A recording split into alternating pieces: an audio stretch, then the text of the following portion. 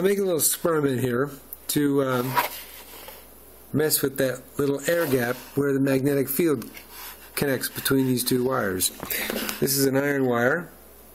This is an iron wire with 28 gauge wrapping, and I'm pulsing in 1 kilohertz square waves at 20 volts. So another piece of iron wire gauge reader spool connected to two LEDs back to back. They don't light up, which is okay. I'm just using them for scope connections. And to read the activity on that wire. This magnet here is that's the north side here to the circuit side. And so there's this field to play with this. So as I do this, back and forth, this is what I'll be doing when I look at the scope. Okay? That's close. That's apart.